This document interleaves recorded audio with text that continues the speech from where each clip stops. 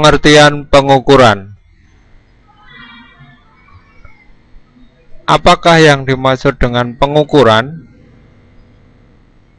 Untuk mengetahui hal tersebut, perhatikan uraian berikut. Misalkan kamu dan adikmu melakukan pengukuran panjang meja dengan langkah. Pasti hasil pengukuran yang dilakukan olehmu dan adikmu menggunakan satuan langkah. Misalnya jika menggunakan satuan langkahmu, maka hasilnya panjang meja itu sama dengan dua langkah dari kakimu. Akan tetapi bila menggunakan satuan langkah adikmu, maka panjang meja itu sama dengan tiga langkah dari kaki adikmu. Jadi jelas di sini terdapat perbedaan hasil. Perbedaan hasil ini menunjukkan bahwa hasil pengukuran itu bergantung pada satuan yang digunakan. Saya ulangi bahwa pengukuran itu bergantung pada satuan yang digunakan. Dengan demikian, pengukuran itu didefinisikan sebagai suatu proses membandingkan suatu besaran dengan besaran lain atau besaran yang sejenis yang dipakai sebagai satuan. Oke, saya ulangi definisi dari pengukuran. Pengukuran didefinisikan sebagai suatu proses membandingkan. Jadi suatu proses membandingkan membandingkan apa? Suatu besaran dengan besaran lain atau besaran yang sejenis yang dipakai sebagai satuannya.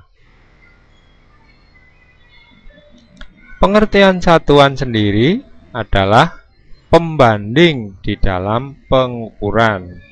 Jadi, definisi satuan itu adalah pembanding di dalam pengukuran.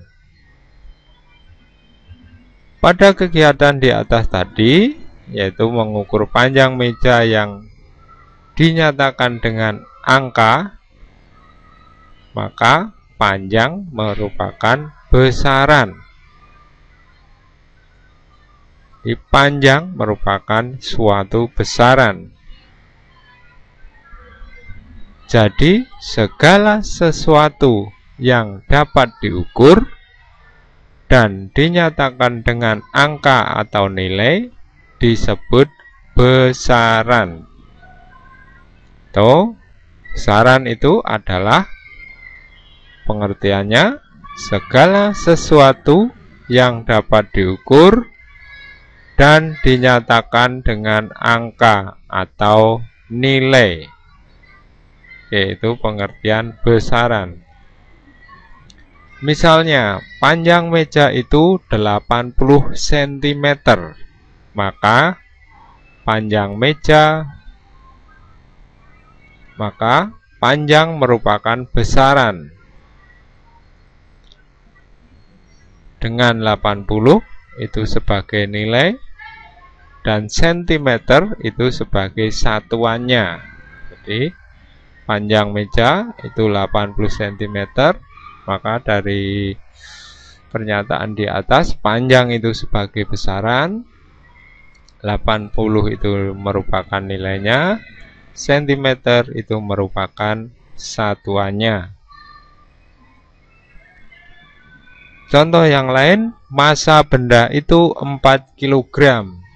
Jadi dari pernyataan itu, massa benda 4 kg. Artinya, massa itu merupakan besaran.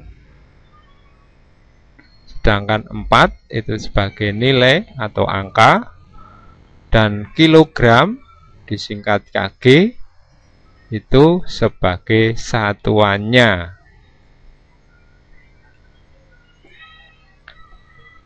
Contoh yang lain yaitu waktu istirahat 15 menit. Oke, waktu istirahat 15 menit. Yang merupakan besaran di sini adalah waktu. Sedangkan 15 itu merupakan nilai atau angka dan menit merupakan satuan.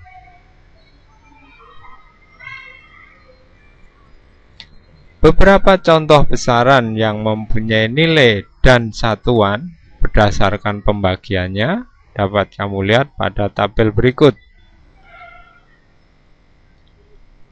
Besaran dan satuan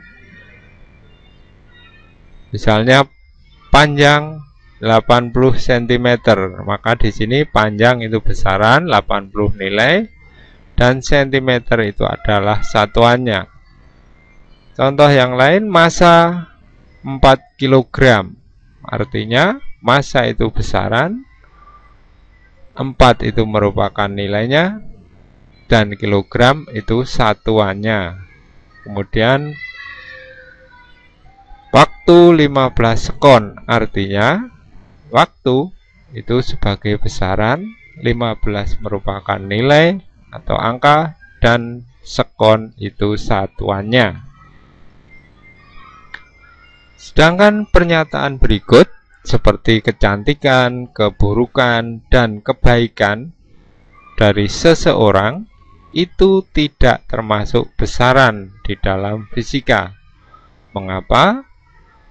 Karena kecantikan, keburukan, dan kebaikan itu tidak dapat diukur dan tidak dapat dinyatakan dengan angka. Jadi, kata kecantikan, keburukan, dan kebaikan tidak dapat diukur dan juga tidak dapat dinyatakan dalam angka atau nilai. Pengertian pengukuran sendiri itu pengertiannya atau definisinya adalah pengukuran adalah suatu proses membandingkan suatu besaran dengan besaran lain atau yang sejenis yang dipakai sebagai satuan.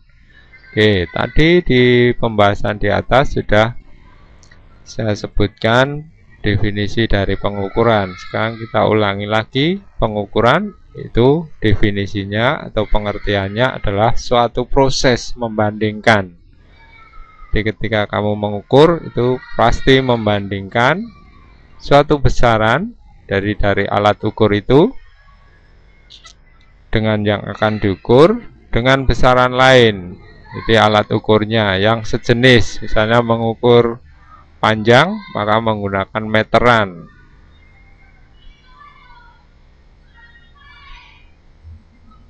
Kemudian di dalam meteran itu pasti ada satuannya yaitu bisa senti, bisa mili, bisa juga meter.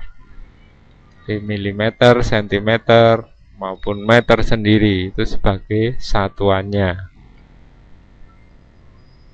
Oke. Sedangkan besaran tadi juga sudah saya jelaskan di atas. Kita ulangi lagi. Pengertiannya atau definisinya adalah sesuatu yang dapat diukur dan dinyatakan dengan angka atau nilai.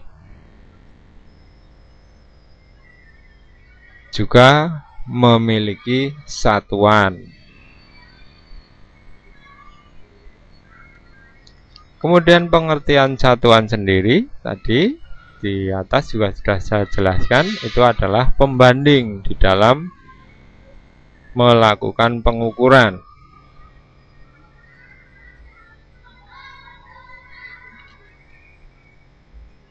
Oke, untuk melihat penjelasan dari materi fisika yang lain, silakan Anda melihat video yang ada di blog saya yaitu www.blog4u7blogspot.com atau Anda juga bisa melihat di YouTube dari blog for you to atau blok 4U7 Oke, di situ Anda bisa melihat banyak sekali penjelasan dari materi-materi fisika mulai dari kelas 1 sampai kelas 3 atau kelas 7 sampai kelas 9